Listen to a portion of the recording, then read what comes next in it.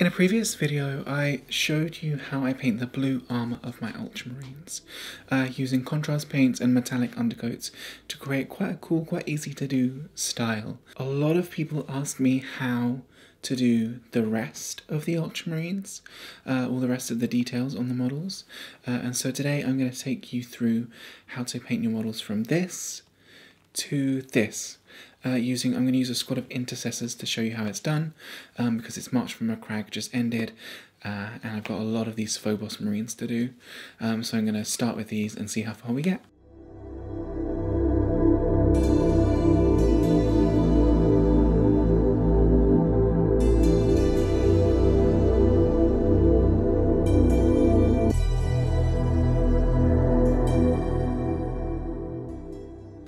Okay, base coats. So for this scheme, I am using primarily blue, obviously, for the armor, red for the trim, because I'm doing the third company, um, and then yellow, or gold, actually, for, for a lot of the accent colors like the decoration and stuff. Um, the rest of the colors that I'm using are quite neutral, things like brown and silver and black. Um, and so the main colors being blue, red, and yellow gives you what's called, a, I think, a primary triad. Um, and if you're trying to figure out how to do a color scheme, um, doing some sort of a triad like that on the color wheel, um, like this, I'll show you. Um, doing something like a primary triad or one of the other triads that you can do is a really effective way of getting a good color scheme without really having to know loads and loads about color theory. I certainly don't if you were going to do a different company, so you weren't doing the third company, you're doing the second company with their sort of gold uh, trim or one of the others, um, I would probably swap out the black of the weapon casing for red, the sort of classic red of the Ultramarines, because um, that allows you to keep that primary triad if you do something like the second company, um, which is a really effective sort of visual element to the scheme, I think. Um, but obviously I'm going with the third company, which has red trim, and so the black is fine.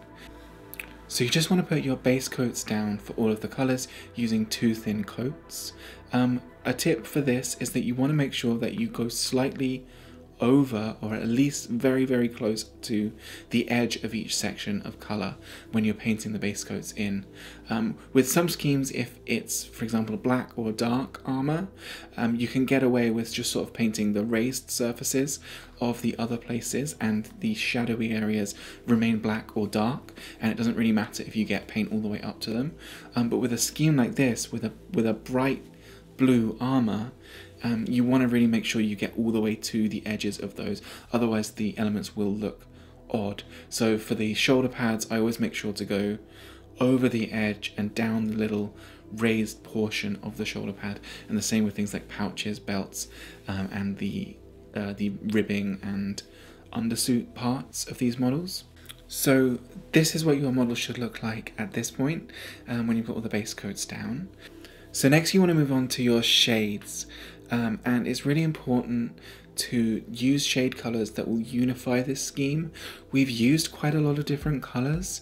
Yes, we've got our primary triad of blue, yellow, and red, and we've also got brown and silver and black in there as well. Uh, and so using shades to unify all of these colors together um, helps make the scheme uh, come, come together and helps make the models look like they live in a world. Uh, and so the main shade color that I'm using is actually purple. Um, I'm not, that doesn't mean I am shading everything with purple, but I am introducing purple tones into a lot of the shadows. So um, on the shoulder pad trim, I'm using a red shade, but again, as with the previous step, I'm making sure to get all the way down and over the edges of where the red ends and the blue of the armor begins. And that introduces a purple tone into the shadow, obviously because red mixes with blue. With the gold sections, um, I'm just shading them purple, and so that brings in purple um, to the scheme there. For the blue sections, we've already done the armor with the contrast paints, but Talassar blue definitely has a purple tinge to it, uh, and so you bring in purple there, which also unifies the scheme. And then the other shade that we're using um, is brown, and I'm going to use that on the silver and on the brown sections and that again unifies them and also using brown on silver very much contrasts with the undertones of silver on the blue. Um, so the brown shade is not at all like the silver undertone on the armor, and it just helps those parts stand out. So once your shading is done, um, your models should look something like this. Uh, and then we're going to move on to our highlights. And there's not an awful lot of highlights to do on this scheme. Uh, it's quite fast, it's quite quick, and it's quite rough and ready. Um, you'll find that putting the shades in, and especially if you do how I've done it, um, been not that neat, you actually bring quite a lot of interest into the armor color. It doesn't just look blue, it's got these little bits of brown, that purple shade we talked about. Um, and so you don't need loads and loads of highlights to make these models pop. And really quite importantly, you don't really need any accurate edge highlights. Yeah, we did that with the blue armor, we added some edge highlights in, in the silver. Um, but the rest of these highlights that we're doing on these colors, you don't need to know how to edge highlight properly. I certainly can't do it. Uh, and so we every time I come up with a scheme, I try to minimize the amount of edge highlighting that we try to do. Um, so with the brown, we're just going to highlight this a couple of times using lighter browns. And the idea with this is that these are leather parts that have been used, they're worn, uh, and so you can have scratchy highlights. Your edge highlights don't have to be neat. You can just put paint where you, where you think the leather would be worn, um, and that works fine. Um, for the black, all we're going to do is dry brush it with uh, Dawnstone or another light grey. Uh, and so you don't need to worry really about that in any edge highlighting kind of way. Um, just gives it a nice little bit of interest. Um, for the red, this is where you need to be the most neat, but Space Marine shoulder pads are not that difficult to edge highlight. They've got nice crisp edges, and so I'm just using a bright red and then an orange uh, on the very edges to finish those sections off. The final thing to mention I think is the skin. Um, there's not a lot of skin on these models, um, but I've done two different kinds of skin tone, a lighter skin tone and a darker skin tone. Um, and then I've painted the hair slightly differently as well. I've done a white hair uh, and a blonde hair.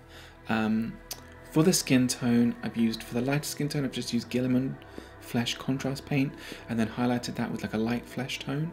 Uh, and for the darker skin, I've done a brown base coat I used purple to shade it, um, again unifying the scheme, and then just re-highlighted with the base tone. Uh, and then for the hair, I just used various contrast paints over I think Wraithbone or Grey Seer. Now we're really on to finishing touches.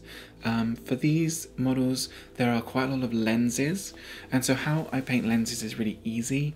Um, we just paint them in Celestra Grey or some other sort of off-white that's a little bit dark, um, and then we use the Nighthaunt Green technical paint uh, all across them in a single coat, um, which has a really unique finish uh, and makes those areas stand out a little bit more.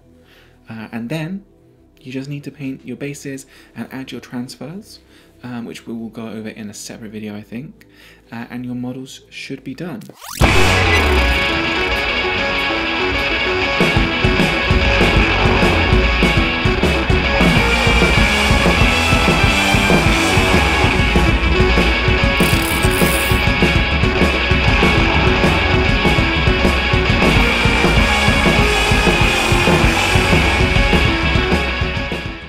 So thank you very much for watching. Um, I hope you found some of the things that we talked about today useful.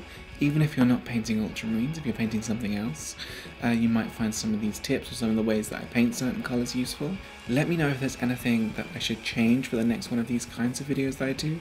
This is the first time that I've actually filmed a step-by-step -step painting guide. And yeah, thanks for watching, and I'll see you in the next video.